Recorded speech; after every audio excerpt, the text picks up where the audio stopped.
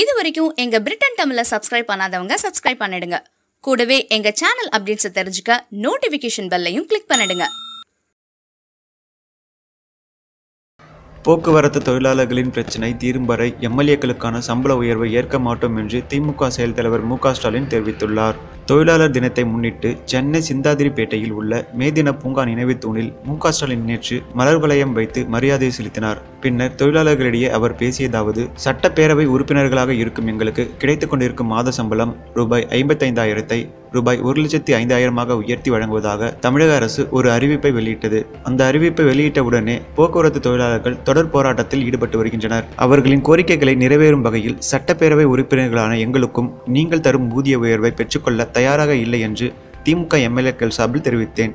அது குறித்து அரசும் முதல்வரும் எந்த விளக்கமும் தரவில்லை. ஆனால் அதிமுக எம்எல்ஏக்கள் அனைவரும் உயர்த்தப்பட்ட சம்பளத்தை பெற்று வருகின்றனர். நாங்கள் இன்னும் அந்த சம்பளத்தை பெறவில்லை.